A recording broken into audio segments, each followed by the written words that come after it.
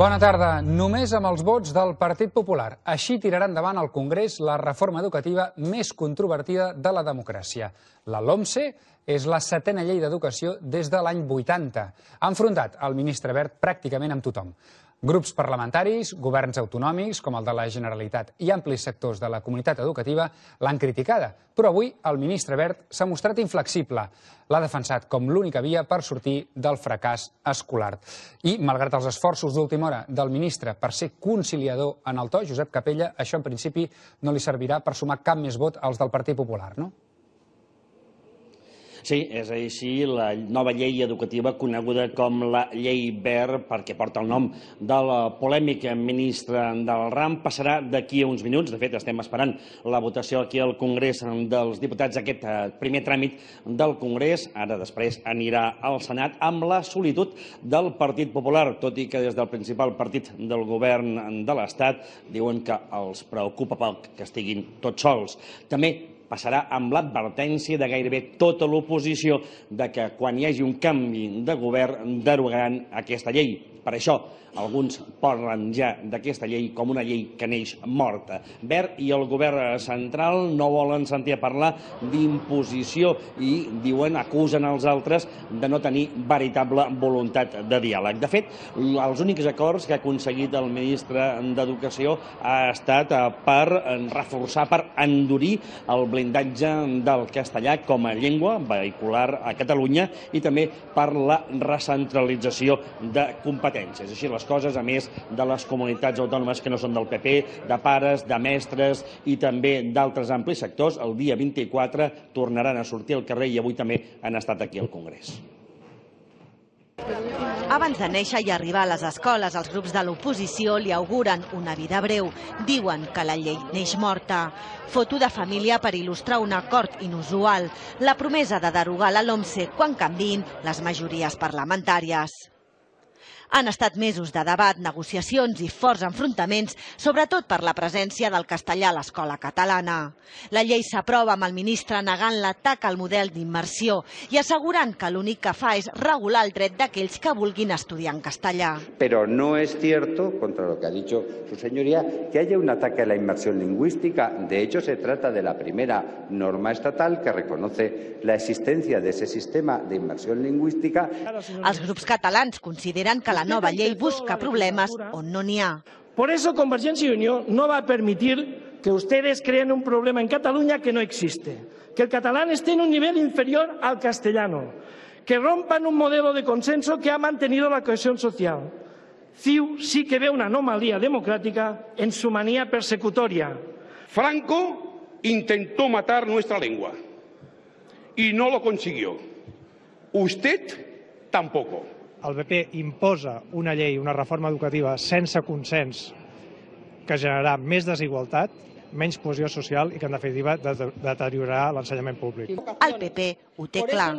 Cuando los padres, señorías del Grupo de Convergencia, acuden a los tribunales en defensa de ese derecho, no me hable usted de normalidad en Cataluña. La LOMSE tira endavant, només amb la majoria dels populars. Toda la tramitación ha sido un ejercicio de autismo político, ha sido un soliloquio. La que serà la setena llei educativa de la democràcia neix amb les crítiques d'uns i altres de fer primar la ideologia per sobre dels interessos de l'educació. La polèmica llei verd passa ara al Senat, on està previst que tingui pocs canvis. Yolanda López, TV3, Madrid. Doncs aturem-nos un moment en el que preveu aquesta LOMCE, que, com sentíem, encara ha de passar el tràmit pel Senat un cop es voti, com estem esperant al Congrés, com ens explicava Josep Capella, d'un moment a l'altre. Eliminarà la selectivitat, avançarà els itineraris formatius, és a dir, el moment en què els alumnes han de triar quin camí segueixen i establirà també avaluacions similars a l'antiga revàlida al final de cada etapa formativa.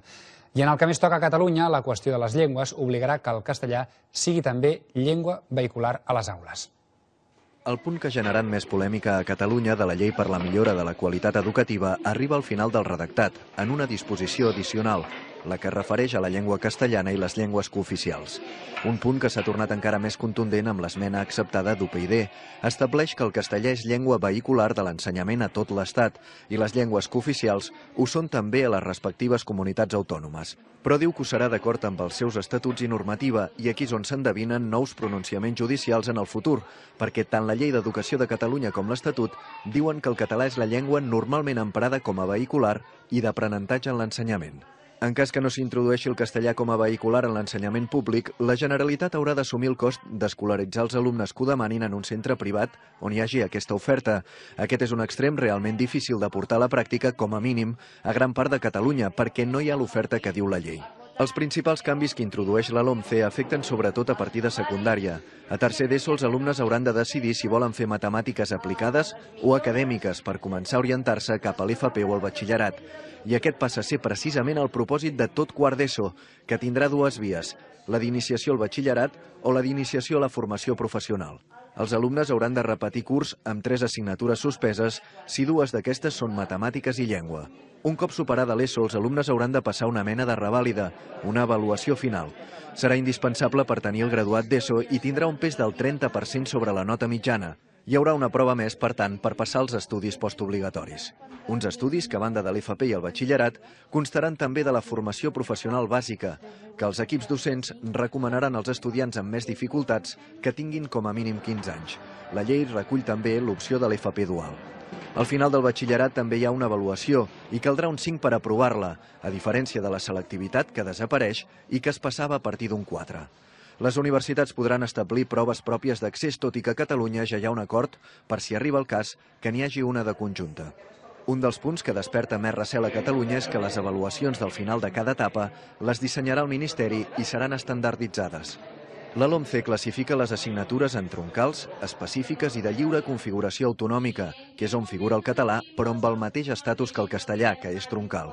Finalment, el percentatge del currículum que podrà decidir la Generalitat serà molt semblant a l'actual i com a assignatura específica s'haurà d'escollir entre religió o valors socials i cívics.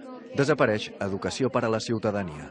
A la línia del que ja s'està decidint a Catalunya, els directors guanyen poder de decisió i en determinats casos podran establir requisits per definir la plantilla de docents. La LOMCE també blinda els concerts a les escoles que separen alumnes per sexe.